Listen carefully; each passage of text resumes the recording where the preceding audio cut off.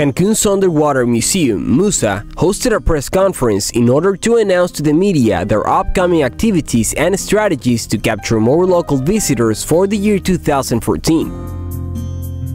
This year, Musa will be added onto Google's Cultural Institute project. They will also elaborate their very first underwater Google map to show users part of their extensive 526 sculpture collection.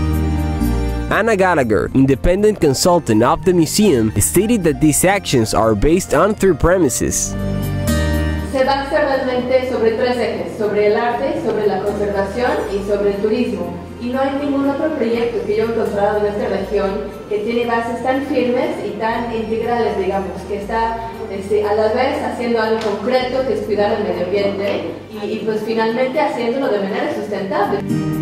Roberto Diaz, president of the museum, pointed out that the work carried out in the past few years has been reflected on the several advertising campaigns they have been part of at an international level. The museum has also participated in a documentary about the museum, which is currently competing in an environmental festival in Washington and Barcelona.